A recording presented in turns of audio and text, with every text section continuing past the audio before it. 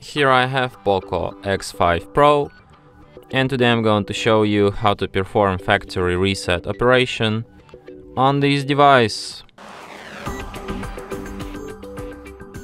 So to do this, firstly you have to enter settings, then you have to go to the about phone section, then go to the factory reset, tap erase all data, then factory reset, then you have to get to know what these informations in the 10 seconds. Okay, tap next, then 10 more seconds to read uh, this text.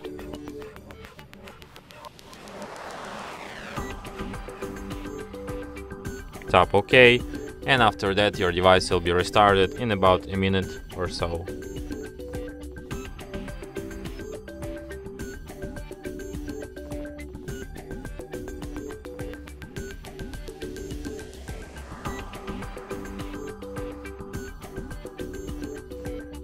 And that's it.